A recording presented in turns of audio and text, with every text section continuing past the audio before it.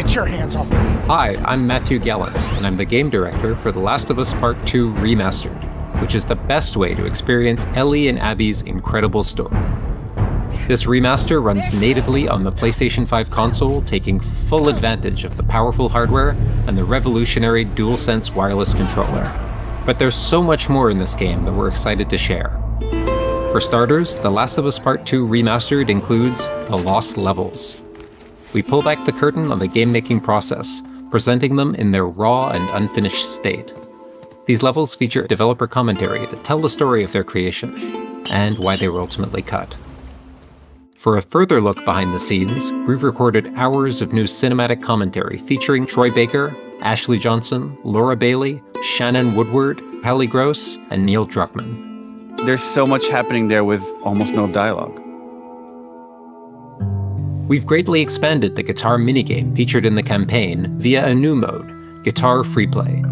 You'll be able to swap between locations and characters, including Ellie, Joel, and the maestro himself, Gustavo Santaolalla.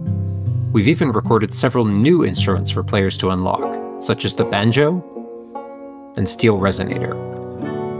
We can't wait to unleash the community's creativity with this feature-rich mode. The Last of Us Part 2 Remastered enhances the sense of immersion through the DualSense controller's haptics and adaptive triggers. You'll feel the tension in the bow as you draw back an arrow, and the kick of a shotgun. You'll feel the quiet moments too, walking in the Seattle rain or playing fetch with Bear. The Last of Us Part 2 broke new ground for accessibility, and we're thrilled to bring over new features that debuted in The Last of Us Part 1 remake for the PlayStation 5, such as audio descriptions for cinematics and speech to vibrations. We're also thrilled to introduce No Return, a brand new single player roguelike survival mode. Begin your run by choosing one of 10 playable characters, including many fan favorites who were not previously playable. Each one has their own unique playstyle, traits, and starting inventory.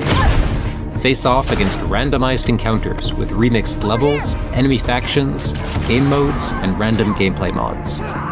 Death is permanent, but there's always a new randomized run waiting.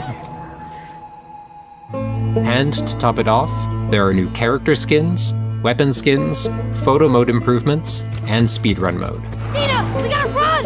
The Last of Us Part 2 Remastered is the best way to experience this beloved game on PlayStation 5. And whether you're a returning fan or a newcomer, we're excited to share this journey with you.